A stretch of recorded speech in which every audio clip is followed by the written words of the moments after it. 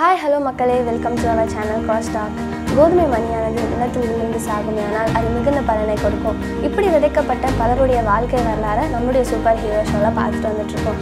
இன்றைக்கும் கூட நம்மளுடைய சென்னை பட்டணத்துக்கு வந்து மிஷினரியாக பணியாற்றிய வில்லியம் கவுடியை பற்றி தான் இன்றைக்கு உங்களோட நான் ஷேர் பண்ண போகிறேன் ஸ்காட்லாந்தில் உள்ள செனவிக் என்ற இடத்துல ஆறு ஐந்து ஆயிரத்தி எட்நூற்றி ஐம்பத்தி ஏழாம் ஆண்டு ஒரு நல்ல கிறிஸ்துவ குடும்பத்தில் பிறந்தவர் தான் வில்லியம் கோடி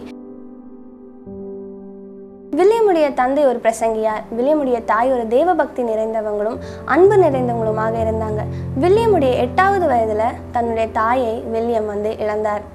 அவங்களுடைய தாயுடைய பெரிய ஆசையே தன்னுடைய கணவரை போலவே தன்னுடைய மகன் கவுடியும் ஒரு பெரிய பிரசங்கியாராக மாற வேண்டும் அப்படின்றது அவங்களுடைய பெரிய ஆசையாக இருந்திருக்குது. கவுடியின் இளமையான வாழ்வில் பெரும் தாக்கத்தை ஏற்படுத்தியது எல்டி மோடியுடைய பிரசங்கமும் மற்றும் சாங்கியுடைய பிரசங்கமும். இதன் மூலமாக தன்னுடைய வாழ்க்கையில் தேவனுடைய சித்தம் என்ன என்பதை விரைவாகவே வந்து கவுடி வந்து தெரிந்து கொள்கிறார் ஆயிரத்தி எட்நூற்றி எண்பத்தி ஒன்றாம் ஆண்டு ஜனவரி இருபத்தி நான்காம் தேதி லண்டனில் உள்ள ஒரு ஆலயத்தில் ஆயராக பொறுப்பெடுக்கிறாரு. இந்தியாவுக்கு சென்று ஊழியம் செய்ய வேண்டும் என்ற வந்த வாய்ப்பை வந்து கவுடி ஒரு சந்தோஷமாக ஒரு பெரும் சந்தோஷத்தோடு அந்த வாய்ப்பை வந்து அவர் ஏற்றுக்கொள்கிறார் அதே போல் ஆயிரத்தி எட்நூற்றி எண்பத்தி இரண்டாம் ஆண்டு சென்னைக்கு வந்தார்.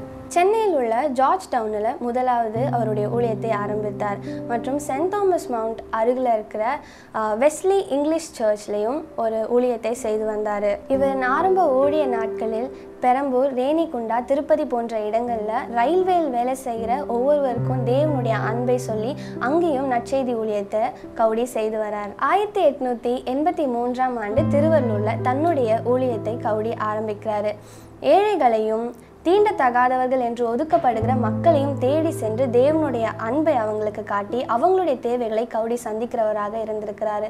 ஆயிரத்தி எட்நூத்தி எண்பத்தி ஐந்தாம் ஆண்டு எலிசபெத் ரோலட்சை திருமணம் செய்கிறாரு. இவங்க இருவருக்கும் முதல்ல ஒரு குழந்தை பிறந்து இறந்தது. ஆனாலும் அதை குறித்த வேதனை அவருக்குள்ள இருந்தாலும் தொடர்ந்து தேவனுக்காக தன்னுடைய ஊழியத்தை செய்து கொண்டிருந்தார். மக்களின் வாழ்க்கையில இருந்த கொத்தடிமை தீண்டாமை போன்ற காரியங்களை ஒழிக்க வந்து கவுடி முற்பட்டாரு. ஒரு முறை ஒரு உயர் ஜாதி மக்கள் இவருக்கு விரோதமா எழும்பி கற்களையும் சேற்றையும் அவர் மேல வீச தொடங்கினாங்க.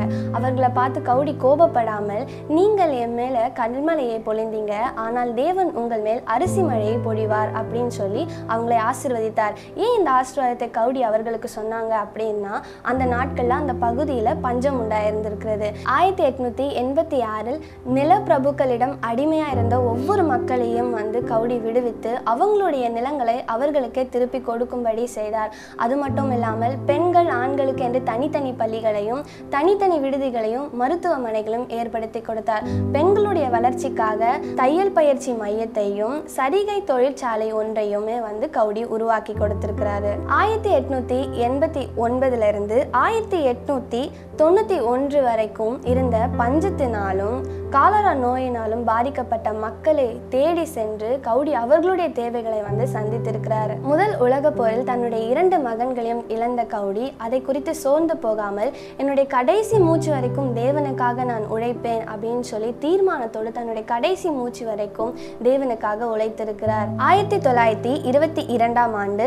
ஏப்ரல் ஆறாம் தேதி குருத்தோலை ஞாயிறு அன்று நிமோனியாவால் பாதிக்கப்பட்டு தன்னுடைய அறுபத்தி நான்காவது வயதுல கர்த்தருக்குள்ளாக நித்திரையடைந்தார். இவருடைய ஞாபகமாக கவுடி தேவாலயம் என்று திருவள்ளூர்ல கட்டப்பட்டிருக்கு.